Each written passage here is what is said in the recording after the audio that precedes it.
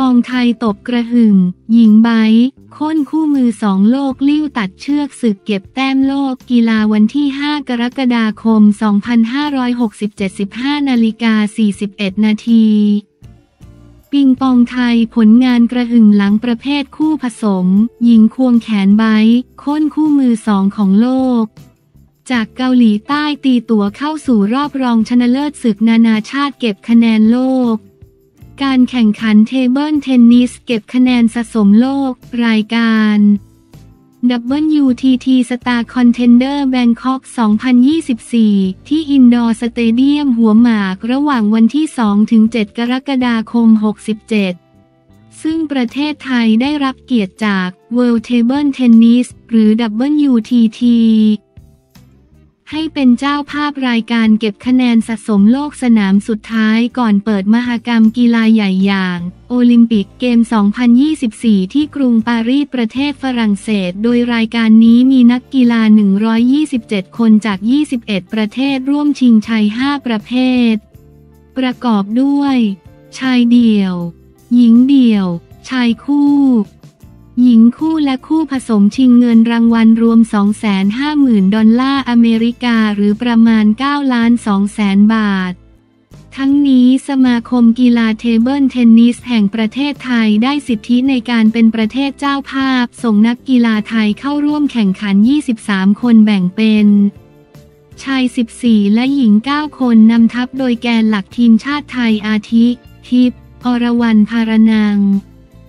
หญิง สุธาสินี เสวตรบุตร บอล ภาคภูมิสงวนสินและไบร์ท พาดาศักดิ์ ตันวิริยะเวชกุลเมื่อวันที่ 5 มิถุนายนที่ผ่านมาเป็นการแข่งขันวันในวันที่ 4 โดยไฮไลท์สำคัญของนักกีฬาไทยอยู่ในประเภทคู่ผสม เป็นการจับคู่กันระหว่างหญิง สุธาสินีกับไบร์ท พาดาศักดิ์ คู่หนุ่มสาวไทย ดีกรี เหรียญทองซีเกมส์ 2015 ซึ่งทั้งคู่ไม่ได้มีอันดับ world ranking เนื่องด้วยไม่ได้จับคู่เล่นร่วมกันเป็นระยะเวลานาน ออกสตาร์ทรอบ 16 คู่และสามารถเอาชนะคู่รุ่นน้องร่วมชาติชัยเดชม่วงหวานกับพัชรพรชาญวานิชบริการมาได้ 3-0 เกม 11-9 11-6 11-6 ผ่านเข้าสู่รอบก่อนรองชนะเลิศในรอบก่อนรองหรือ 8 คู่สุดท้าย สุธาสินีกับพาดาศักดิ์ต้องโคจรมาพบกับศึกหนักลิมจองฮุนกับชินยูบินคู่มืออันดับสองของโลก และเป็นคู่มือวางอันดับหนึ่งของรายการจากเกาหลีใต้ที่เพิ่งเอาชนะบัวจิณห์นิภากับเนม ณภัทรธรรมาธิคมอีกหนึ่งคู่ผสมของไทยมา3ถึง0เกมรูปเกมของสองหนุ่มสาวไทยเป็นรองอย่างที่หลายฝ่ายคาด แต่ด้วยเสียงเชียร์ของกองเชียร์ชาวไทยที่ตามเข้าไปให้กำลังใจแน่นอินดอร์สเตเดียมหัวหมากทำให้หลังจากที่สุธาสินีกับพาดาศักดิ์พ่ายไปในเกมแรก 7-11 ก็สามารถฮึดเอาชนะคืนได้ในเกมที่ 2 อย่างยอดเยี่ยม 11-7 ถัดมาเกมที่ 3 2 หนุ่มสาวไทย โดนคู่แข่งจู่โจมเร็วชนิดไม่ทันได้หายใจหายคอ ลิงจองฮุนกับชินยูบินไล่ต้อนเอาชนะอย่างรวดเร็ว 11ถึง1ขึ้นนำไทยอีกครั้ง 2-1 เกมฝั่งสุธาสินีกับพาดาศักยังไม่ยอมแพ้ โชว์ความอึดความพยายามไล่แซงชนะ 11-9 ตีเสมอ 2-2 อย่างสนุกมาถึงเกมที่ 5 เกมตัดสินฝั่งเกาหลีเริ่มต้นได้ดีกว่าออกนำคู่ไทยไปก่อน 6-3 ไทยไม่ยอมตามตีเสมอ 6-6 แต่เกาหลีก็หนีไปอีกที่ 9-7 หลังจากนั้นกองเชียร์ไทยในอินดอร์แห่แหนกันส่งพลังใจให้กับสองหนุ่มสาวไทยอย่างล้นหลาม และเรื่องที่เซอร์ไพรส์ก็เกิดขึ้นเมื่อ สุธาสินีกับพาดาศักดิ์ระเบิดฟอร์มตีโต้ได้เหนียวแน่นและเป็นฝ่ายตบคว้าสี่คะแนนรวดพลิกกลับมาชนะ 11 ถึง 9 ส่งผลให้จบการแข่งขัน หญิง สุธาสินี เสวตรบุตรกับไบ ร์ทพาดาศักดิ์ตันวิริยะเวชกุลของไทยตบชนะคู่มืออันดับสองของโลก 3-2 เกม 7-11 11-7 1-11 11-9 11-9 พร้อมสร้างประวัติศาสตร์ผ่านเข้าสู่รอบรองชนะเลิศได้เป็นครั้งแรกในรายการนี้ของนักกีฬาไทย โดยทั้งคู่จะผ่านไปพบกับคู่ของหว่องชุนติงกับตูฮอยเข้มคู่มืออันดับ 4 ของโลกจากฮ่องกงในช่วงค่ำของวันเดียวกัน ขณะที่ผลการแข่งขันในประเภทหญิงเดี่ยว รอบ 32 คน มิยูคิฮาระมืออันดับ 19 ของโลก ชนะบัวจินนิพามืออันดับ 120 ของโลก 3-2 เกม 6-11 11-6 11-4 7-11 11-8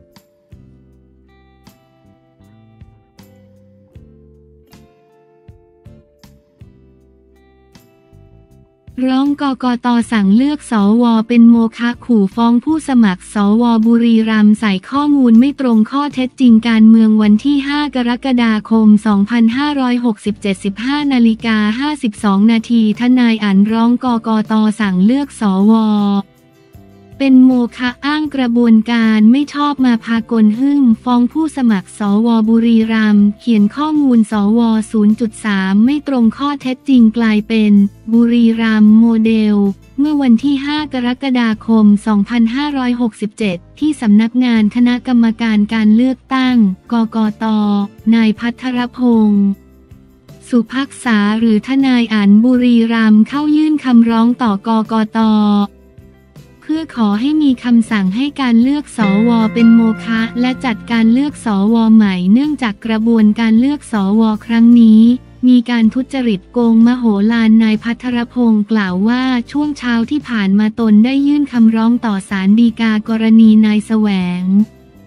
บุญมีเลขาธิการกกต อ้างว่าคำพิพากษาของศาลเศษ 185 ส่วน 2567 ที่ระบุว่าใครจะมีอาชีพอะไรก็แล้วแต่ สามารถสมัครกลุ่มใดก็ได้ใน 20 กลุ่ม หากผู้พิพากษาตอบกลับมาว่าไม่ได้เป็นในทำนองเดียวกับที่นายแสวง ชี้แจงผ่านเฟซบุ๊กส่วนตัวก็ถือว่างานนี้สนุกแน่นอนการเลือกสอวอครั้งนี้มีสารพัดปัญหาเกี่ยวกับกระบวนการเลือกสอวอ ที่เข้าข่ายทุจริตไม่เป็นไปตามรัฐธรรมนูญมาตรา 107 ที่ประสงค์อยากให้คนที่มีความรู้ความสามารถในหลากหลายอาชีพ เข้ามาช่วยกันพัฒนาประเทศในฐานะสวมีหลายเหตุผลที่ทำให้การเลือกครั้งนี้ไม่บริสุทธิ์และเที่ยงธรรม ทั้งกรณีบ้านใหญ่การหัวกัน การลงคะแนนของผู้สมัครที่ไม่ลงให้ตัวเอง หรือเรื่องคุณสมบัติผู้สมัครสววันนี้จึงอยากให้ทบทวนการเลือกสวโดยประกาศให้เป็นโมฆะและเลือกตั้งใหม่โดยเร็วอย่าให้สว250 คนต้องยิ้มหวาน นายพัทรพงศ์กล่าว นายพัทรพงศ์กล่าวอีกว่ากระบวนการเลือกที่ใจ บุรีรัมนั้น มีเหตุการณ์ที่มีพิรุษเช่นคนขับรถให้ตระกูลดังจังหวัดบุรีรัมย์ได้เป็นสว หรือผู้สมัครอายุ 51 ปี รับทำพิธีศาสนาทั่วไป ประวัติการศึกษาจบป .0.6 ประวัติการทำงานเป็นมัคทายก ซึ่งคนระดับนี้ผ่านการเลือกแต่ละระดับได้รับเลือกเป็นสวบุรีรัมรวมถึงคนอื่น ๆ ที่มีประวัติการทำงานและประวัติการศึกษาที่ไม่สอดรับกับความเหมาะสม จึงทำให้จังหวัดบุรีรัมย์กลายเป็น บุรีรัมย์โมเดล ที่มีสวจำนวนมากที่สุดถึง 14 คน ทั้งนี้จะแจ้งความดำเนินคดีกับทุกคนที่เป็นผู้สมัครสวของจังหวัดบุรีรัมย์ตามประมวลกฎหมายอาญามาตรา 267 ว่ามีการจดแจ้งข้อความในเอกสารราชการใบสว ซึ่งเป็นเอกสารราชการในข้อความที่เป็นเท็จไม่ตรงกับความเป็นจริง ให้กลายเป็นบุรีรัมโมเดล นายพัทรพงศ์กล่าวว่านอกจากนี้ตนอยากให้การรับรองคุณวุฒิของผู้สมัครสว มีมาตรฐานเช่น ตนเป็นทนายความผู้ที่จะต้องรับรองตน คือประธานสภาทนายความประจำจังหวัดนั้นๆ หรือนายกสภาทนายความ แต่การเลือกสอวอครั้งนี้แค่รู้จักกันก็รับรองให้กันได้ มันง่ายเกินไปหรือไม่ และปัจจุบันยังไม่มีการพิจารณาตัดคุณสมบัติของผู้สมัครที่ไม่ตรงกลุ่มเลย เห็นได้ชัดกรณีคนขับรถให้ตระกูลดัง บุรีรัมย์ ดูคุณวุฒิก็ไม่เข้ากับคุณสมบัติ มีอาชีพรับจ้างแต่บอกว่าเป็นนักฟุตบอลอาวุโส แค่นี้ก็ไม่เข้าคุณสมบัติแล้ว ทั้งนี้อาชีพหมายถึงคนที่ทำงานต่อเนื่องในลักษณะที่ก่อให้เกิดรายได้ คนที่เป็นหมอทำจิตอาสาอสมจะเข้าข่ายเป็นที่มาของรายได้อย่างไร